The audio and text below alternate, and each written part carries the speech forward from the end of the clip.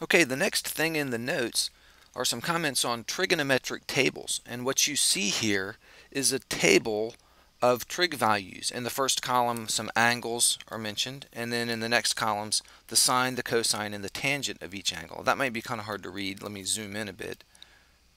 But you could look up on this table of values the sine, the cosine, and the tangent of these angles. Now, why do we have this? Well, let me show you something.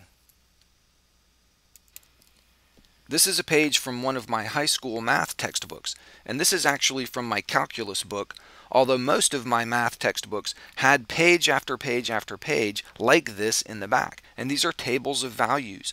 And you see here, these are angles. This says t, that would be an angle in this column, and then the sine of the angle, the cosine of the angle, and the tangent of the angle in the other columns. And these angles here are, are actually in radians rather than in degrees. But if you needed to know the sine or cosine or tangent of, a, of an angle, you would look it up in the table. So if you wanted to know the, the tangent of 0.09, well, you would come over here and find the value. And this was sometimes a pretty cumbersome process. Because, for example, if you wanted to find, say, the cosine of 0.061, well, here's the 0.06, and you can find the cosine, and here's 0.07, and you can find the value of the cosine of 0.07. But 0.061 isn't listed here, so we would have to recognize that 0.061 is in between these two numbers, and specifically it's 10% of the way from this number to this number. So we would have to do a little calculation and find the value that was 10% of the way from this number to this number.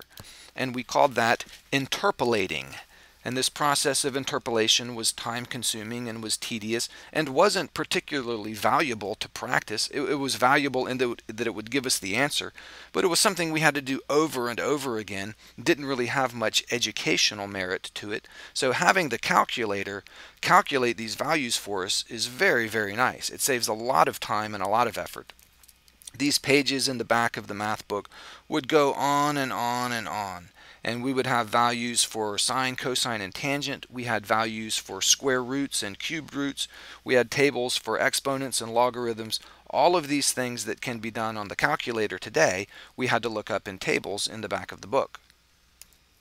So when you see these tables of trig values and imagine having to look up the number in a table every time you needed to find a value and perhaps interpolate in between numbers to get that value accurately. Hopefully you can appreciate what you have in a modern calculator with the ability to compute all of those values to a large number of decimal places very quickly on demand.